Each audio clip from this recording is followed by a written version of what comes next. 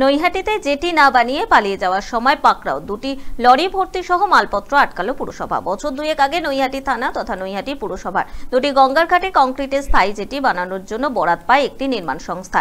একটি ছাইঘাট, অপরটি রামঘাট। দুটি ঘাটেরই কাজ অসম্পূর্ণ। সেখানকার স্থানীয় মানুষ এবং সেখানকার নিরাপত্তা রক্ষীরা জানান, শেষ পাঁচ থেকে ছ মাস কাজ বন্ধ। স্থানীয় বাসিন্দাদের অভিযোগ, এখান থেকে এর আগেও লরি ভর্তি করে বেশ কয়েকবার মাল নিয়ে যাওয়া হয়েছে। গতকাল সকাল থেকে দুটি লরিতে মাল বোঝাইয়ের কাজ চলে। রাতে যখন গাড়ি বেরোতে যায়, সেই সময় নৈহাটি পুরসভার তরফে গাড়ি দুটি আটক করা হয়। আজ সকালে চেয়ারম্যান অশোক চ্যাটার্জি নৈহাটি থানায় লিখিত অভিযোগ করেন, পুলিশ তদন্ত করছে।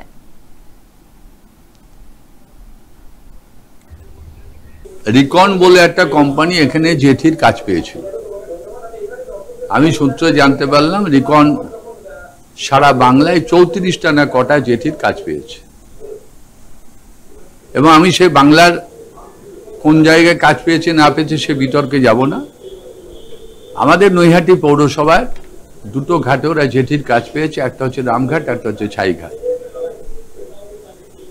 রামঘাটেরটা অর্থ সমাপ্ত কাজ, ধরুন এইটটি না এইটটি পার্সেন্ট সেভেন্টি পার্সেন্ট কাজ হয়ে গেছে, সেই অবস্থায় পড়ে আছে। কাজের কোনো আর ডেভেলপমেন্ট নেই। ছাইঘাটটাই আমি খবর পেলাম যে গত কিছুদিন আগে থাকতে ওরা রাতের অন্ধকারে।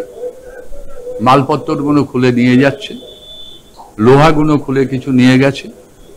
গতকাল আমি বিশেষ সূত্রে আমাদের ছেলেদের মুখে খবর পাই, যে দুটো পাঞ্জাব বডি গাড়ি পুরো লোড করে ওরা মালটা নিয়ে যাচ্ছিল।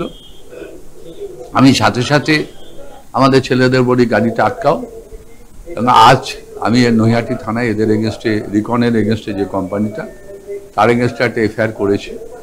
এফআইআর করে বলেছি গাড়িটা আটকা যতক্ষণ আমার সরকারের পরিবহন দপ্তরে আমি অর্ডার না পাবো, যেদের এখানকে মাল নিয়ে যাওয়ার অধিকার বা ইয়ে দেওয়া হোক, আমি ততক্ষণ এখান থেকে এক কিছু মাল এখান থেকে বেরোতে পারব।